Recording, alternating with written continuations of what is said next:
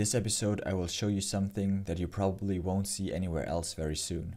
Welcome to App Monster, my name is Jonas and in this episode we're having an exclusive look at the Bravo plugin for Figma. The plugin is currently in the closed beta where some testing is done and because I am part of the Bravo expert program, the Bravo team was kind enough to let me try that out beforehand and I want to take you along. So as you can see, I'm here in the Figma desktop version and I've just opened this plugin. You will be able to open it like all your normal plugins, but because this is a plugin in development, I can open it here under development. And the plugin consists mainly of this window here. This doesn't look like much at the moment because as I said, it's still in development. We have two buttons here. This directs me to the Notion tag list that you already know from the Bravo website where all the tags are listed and this will direct me to the Bravo website where we have some Figma sample files. This field, this text input field is interesting because here you can write some tags. For example, as I type something in, you can already see that I have a list of tags here a little under this text. I would suggest to check if this is really a valid tag and if it's not, you could just display a warning or something like that because now you could write anything in here and it will add it as a tag. Let's try something legit like the intro screen. So let's take intro once and you see that this is added and also it recommends us the intro always tag which wouldn't be possible because we can only have one intro tag here at the moment but we haven't selected anything so everything I write in here is useless at the moment. But let's have a look at some tags because I've already seen that this window also recognizes the tags that I've already built in here. So for example, let's take a look at my home screen where I have this refresh pull tag and you can see it's already loaded in here.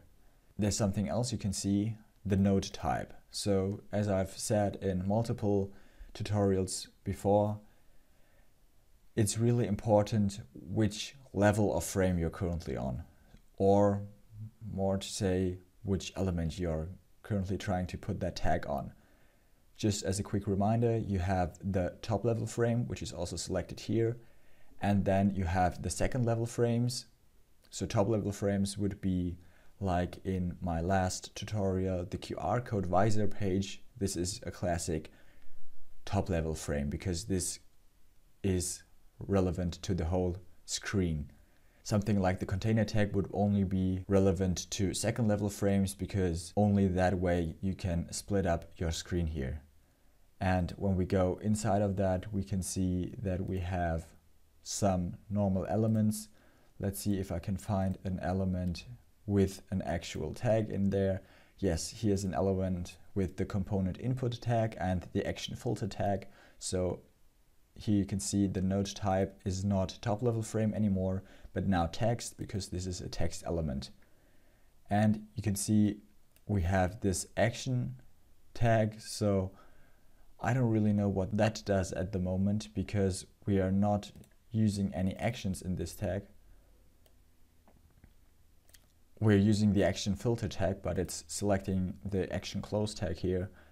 I don't really know what that's about, but you can see that we have the audio and the action tags here, which would be relevant if you have something clickable like a list of links.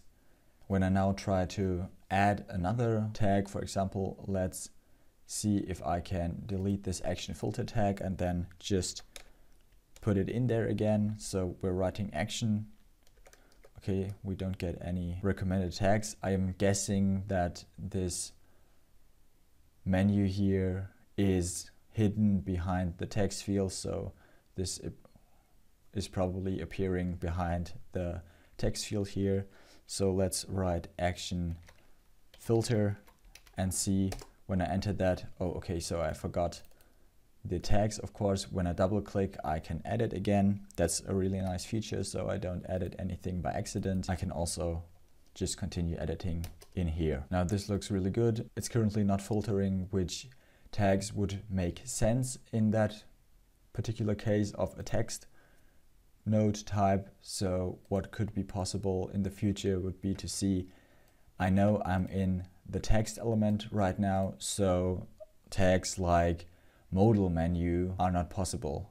You could filter out any any top level or second level frame tags because we can't add them to text.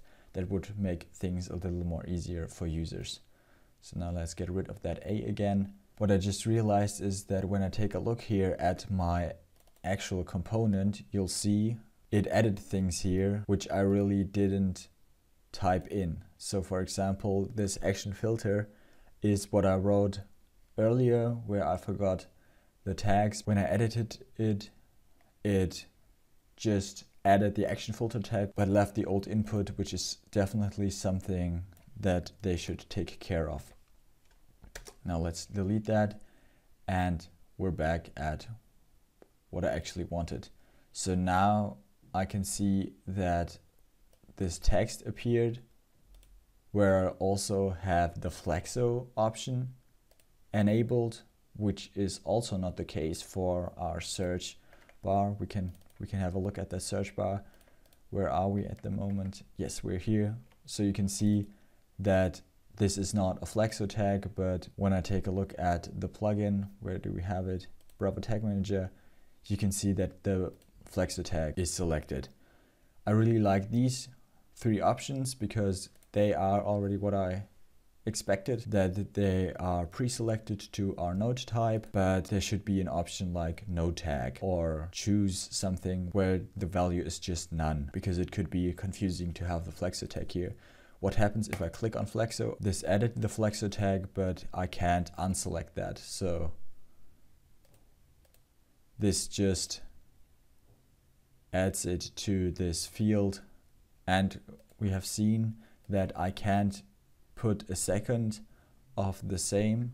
This is really great. If this just adds to the field, maybe something like a plus button would be cool. So you don't have this tick where it looks like you selected something, but maybe just toggle this drop down and then, for example, add the flexo tag.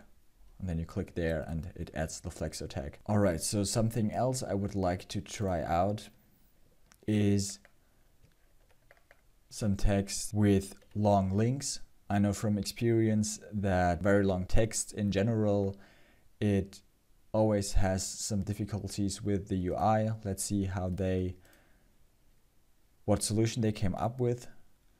Okay, so we see there's also a problem with the UI here. We only have the border and the very long tag does simply doesn't fit. But here again, we have the node type rectangle and then we have contents.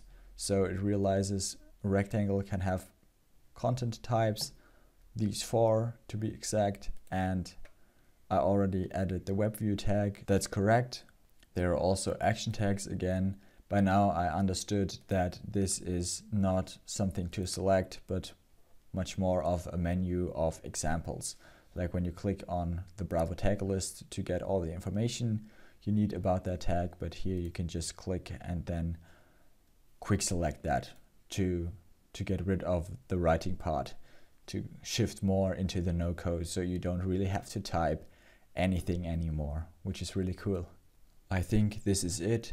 The Bravo team will continue to develop this plugin and maybe add some features and fix the bugs I just discovered then we'll have a look at that again. I know this video was not a tutorial. I hope it was interesting for you to take a look behind the scenes and see what's currently in development.